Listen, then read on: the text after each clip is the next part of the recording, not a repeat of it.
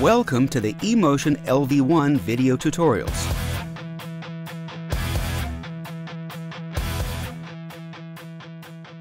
The User Interface Settings page is used to set meter display behavior, channel selection, and create assignable shortcut keys.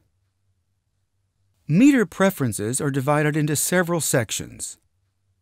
Input meter selects the metering point at which input level is measured for channels. Options are pre or post trim. Output meter selects the output metering points for channels, groups, auxes, and masters. Clip threshold determines the level at which a peak light turns red, which indicates clipping.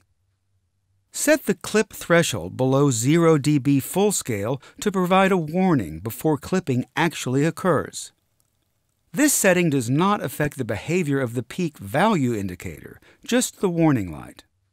Clip hold and peak hold times are set here. Hold times range from 0 seconds to infinity. The mixer window section is used to set whether the channel strip meters are displaying channel input or output. Usually, you'll want to select a channel when you touch its fader. When Channel Select Follow Fader is selected, that's exactly what happens. When Channel Select Follow Fader is not checked, touching and moving a fader will not select its channel. This lets you adjust the fader of a channel in the mixer window while adjusting the parameters of another channel in the channel window. Or move a fader of a channel that's not selected. To select the channel, touch anywhere around the fader or at the top of the channel strip. Or use the Channel Navigation menu on the top bar. Use the Delay Units section to choose the way that delay values are entered and displayed. You can choose either milliseconds, feet, meters, or samples. This choice is provided for convenience only and does not affect delay processing. Use the speed of sound value box to enter a measured or calculated current speed of sound. This affects the relationship between distance measurements and time value.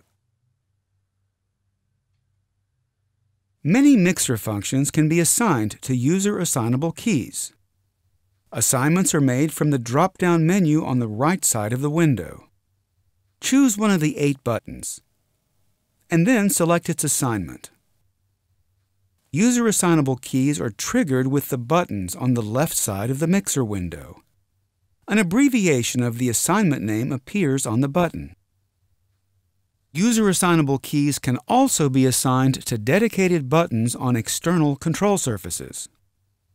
For a complete list of actions that can be assigned to user assignable keys, refer to the eMotion LV1 User Guide. Or better yet, just open the menus and discover what's there. The mixer is now configured. What's left is to patch audio in and out of the mixer and to route audio within the mixer itself. This takes place in the patch window, which is where we'll spend the next two lessons. Thanks for watching this eMotion LV1 video tutorial. See you next time.